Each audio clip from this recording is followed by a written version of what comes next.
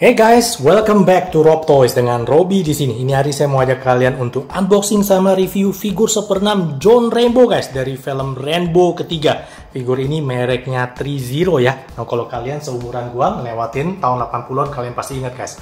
Ini salah satu ikon 80-an guys dan salah satu film box office ya. Ini tepatnya tahun 1988 guys. Oke, coba kita lihat sekeliling boxnya dulu guys. Aktornya Sylvester Stallone Wah, ini pasti ingat guys, ini, ini keren banget. Jadi si tentara Rusianya lagi ngejar pejuang-pejuang mujahidin guys.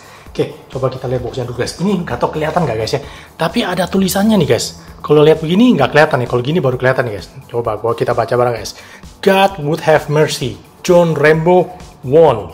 Oh, keren ya tuh guys. Sangar banget guys. Oke, kita lihat sekeliling boxnya dulu guys. Oke, tampak belakangnya juga ada uh, John Rambo-nya ya ini tipe boxnya, tipe bukannya kayak album kayak gini guys. Ini pakai magnet gitu ya. Nah, gue demen kayak gini-gini guys. Tipe-tipe box Toys juga kadang-kadang kayak gini ya. Jadi kayak window box, kita bisa langsung lihat figurnya tanpa harus buka seal boxnya guys. Nah, coba lihat ini guys. Wow, John Rainbow, your worst nightmare. Wow, keren gitu guys. Nah, tampak samping, ini ada basukanya guys. Wah, di belakang ternyata masih ada tulisan lagi guys. Coba kita lihat. Wah ini lebih keren lagi kata-katanya guys. The first rainbow pertama ya, first blood was for himself. The second for his country. And this time is to save his friend. Wah keren. Kalau kalian udah pernah nonton ya. Nah gue bingung guys. Kalau favorit gue tuh gue sampai sekarang susah antara tentuin rainbow ke satu sama rainbow ketiga. Dua-duanya equal menurut gue. Oke, jangan lama-lama lagi. Yuk kita bongkar guys. Dalamnya kart plastik kayak gini ya. Jadi ada dua susun atas sama bawah. Kita lihat atasnya dulu guys. Nah ini dia. Oke. Jadi kita ada figurnya. Tangan-tangan tas yang tas samping atau juga tas. Ini buat yang kalau nggak salah buat panahnya ya yang taruh di dia punya punggung guys. Oke. Ada juga dia punya instruction manual. Dibaca-baca ya guys. Jadi kita lebih berhati-hati kalau ada parts yang fragile Nah, di bawahnya ini guys, senjata-senjatanya.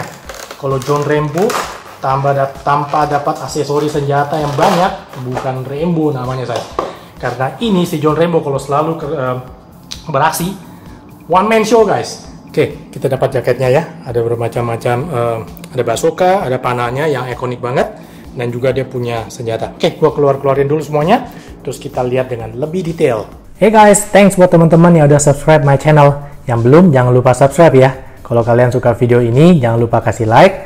Tekan juga tanda loncengnya supaya kalian nggak ketinggalan kalau Loro Toys ada video baru. Kita mulai dengan HS-nya dulu guys. Nah, gimana menurut kalian? Mirip gak dengan Sylvester Stallone guys? Wah, gue bilang sih spot on banget ya. Nggak perfect score 100 ya guys, tapi ini udah 8 atau 9 nih. Bagus banget HS-nya guys. Coba lihat nih, mata ngantuknya Sylvester Stallone dapet banget. Bibirnya yang selalu monyong kayak gini juga dapet banget ya. Wow, warna tone kulitnya juga bagus banget guys. Nah, ini dia punya rambut sculpture hair ya. Bagus bikinnya nih. Tapi sayang nih guys. Kan rambutnya keriting-keriting gitu ya. Tapi jatuhnya kalau gue bilang agak sedikit kaku ya. Itu aja. Tapi tetap bagus. Nah, John Rambo juga pasti jangan lupa guys. Tiap kali mau perang pasti pakai ikat kepala. Jadi kalian lihat di balik rambutnya ini ada ikat kepala hitamnya ya. Nah, ini kelihatan di belakangnya nih guys. Wow, keren banget guys. Wih gila, dia punya ini bir juga dari dia punya mulut sama dia punya dagu ya keren banget guys gila ini HS nya selama gue pernah lihat HS nya Sylvester Stallone ya ini yang paling bagus guys Nah, ini tangan-tangan yang kita dapat ya guys. Jadi ini tangan yang ngepal tadi datang sama figurnya ya. Ini coba kalian lihat warna tone kulitnya mantep banget nih guys. Nah, ini yang gue lihat agak pelit nih guys. Masa relax handnya cuma dapat tangan bagian kiri ya. Tanggung amat harusnya kiri kanan kan ya. Nah, ini tangan untuk narik dia punya panah guys. Wah, mantap. Nah, ini tiga untuk bermacam-macam senjata, guys. Coba lihat nih. Oh, yang gue bilang, guys. Warna tangannya mantap ya. Keren banget loh. Nah, ini jaket tangan panjangnya, guys. Coba lihat detailnya mantep banget, guys. Dan bikinnya nggak bersih gitu loh. Jadi ada weathering sama kotor-kotor gitu jaketnya ya. Mantap banget. Tapi gue pasti nggak pakai jaketnya, guys. Karena Rainbow itu ngetopnya pakai ini, guys kaos hitamnya. Ini kalau Rainbow nggak pakai ini bukan Rainbow guys. Jadi nanti kalau di foto-foto nanti kalian bisa lihat di akhir video ya. Pasti gue lebih banyak pakai yang ini guys. mantep banget. Kita dapat dua tas ini ya guys. Ini tas lempang. Coba lihat bikinnya. Detailnya bagus dan bikinnya kotor-kotor kayak gitu guys. Wah, wow, weatheringnya mantep banget. Kayak tas rongsokan gitu ya. Nah ini tas yang kalau di film ini taruh dia punya panah dan busurnya guys. Jadi nanti taruh diselempangin di punggungnya gitu ya.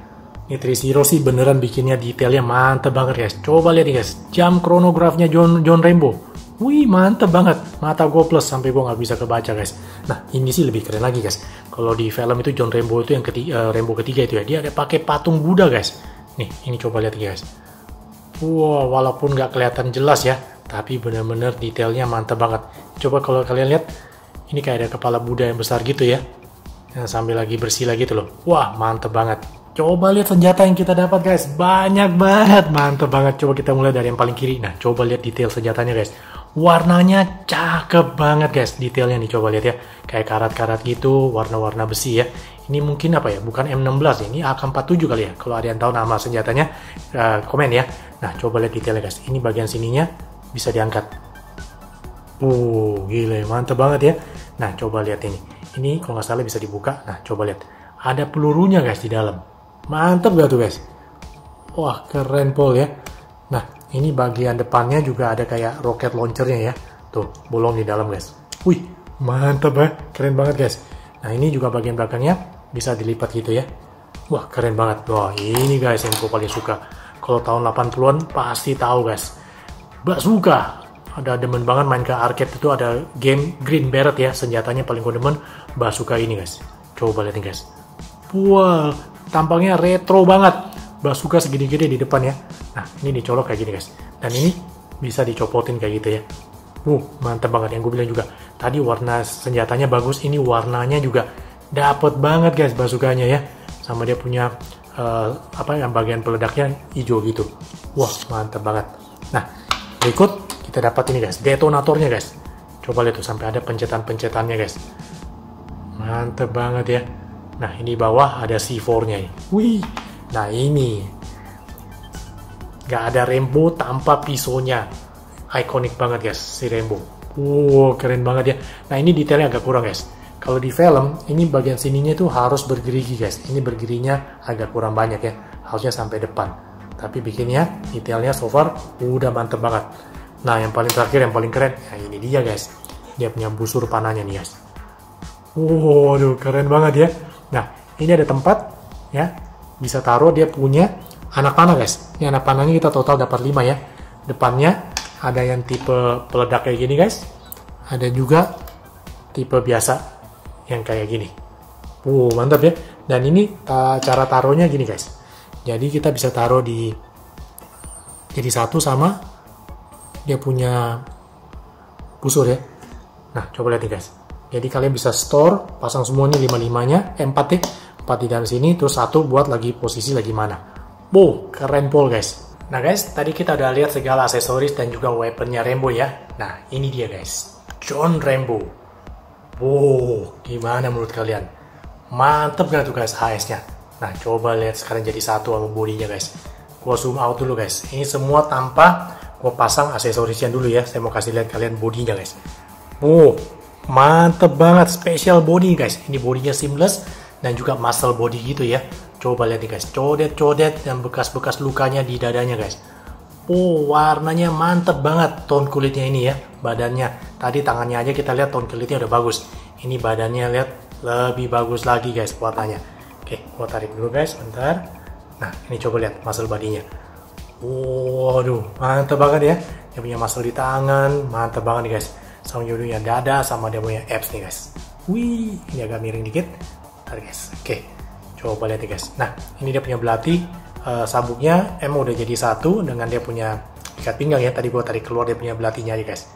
Coba lihat nih guys, celananya. Celananya satu tipe sama jaketnya tadi ya guys. Kotor-kotor kayak gitu guys.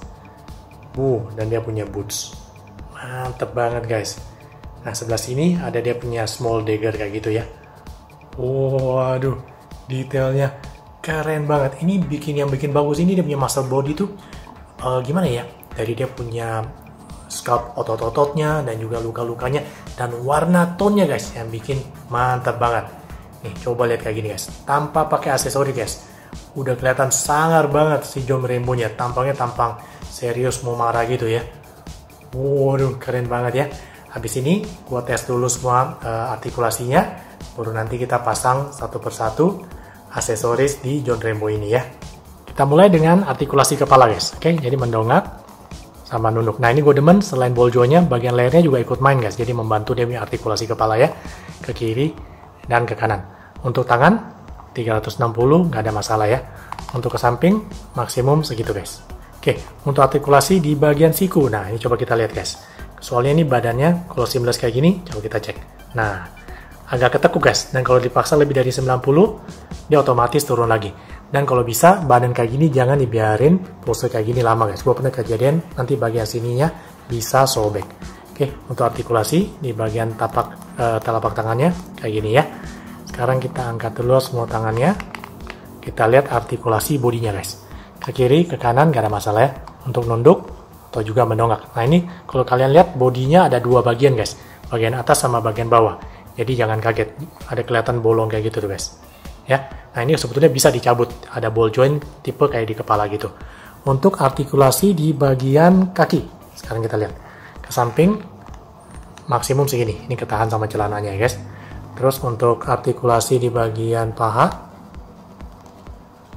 maksimum segini ketahan sama bagian celananya nih guys oke untuk ke belakang maksimum uh maksimum segini ya untuk artikulasi di bagian lutut coba kita cek lututnya mantap kayak gini ya oke untuk di tapak kaki ini bootsnya gue lihat jadi satu guys Nah, kalau biasa boots tipe jadi satu kayak gini, artikulasinya agak terbatas. Biasa kalau bagus itu kebagi dua, jadi bisa miring kiri, miring kanan gitu ya. Sementara jadinya kayak sepatu tentara gini, jadi agak limited uh, dia punya artikulasi.